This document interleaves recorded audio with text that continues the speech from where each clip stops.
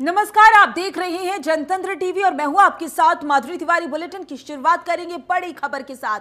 आज कारगिल विजय दिवस की 25वीं वर्षगांठ है। आज कारगिल के द्रास जाएँगे PM Modi. Kargil war memorial पर शहीदों को श्रद्धांजलि देंगे शिंकोन रा सुरंग। परियोजना का शिलान्यास भी करेंगे पीएम मोदी। आज कारगिल विजय दिवस है। 26 जुलाई 1999 के दिन ही भारतीय सेना के जवानों ने टाइगर हिल पर तिरंगा फहराकर कारगिल वॉर में पाकिस्तान को हराया था। चौरासी दिनों तक चले इस युद्ध में भारतीय सेना के 527 जवान शहीद हुए थे, जबकि एक घायल हुए थे। वहीं पाकिस्तान के 400 से अधिक सैनिक मारे गए। कारगिल विजय दिवस की 25वीं जयंती के मौके पर प्रधानमंत्री नरेंद्र मोदी लद्दाख के कारगिल जाएँगे। वे द्रास में कारगिल वॉर मेमोरियल में आयोजित रजत जयंती कार्यक्रम में शामिल होंगे। यहाँ पीएम मोदी 1999 के जंग के नायकों को श्रद्धांजलि देंगे। उनके परिजनों से भी मुलाकात करेंगे। द्रास में कारगिल विजय दिवस की रजत जयंती के मौके पर 24 से 26 जुलाई तक कार्यक्रम हो रहे हैं।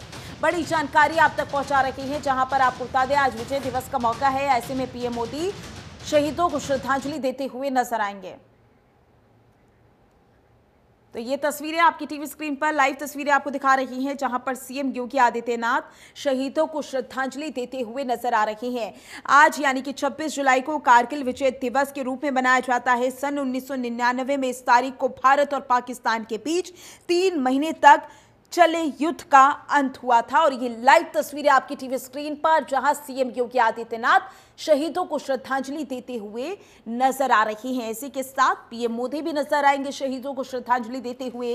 लेकिन ये लाइव तस्वीरें आपको लगातार दिखा रही हैं सीएम योगी आदित्यनाथ की, जहाँ पर वो शहीदों को श्रद्धांजलि दे रही हैं।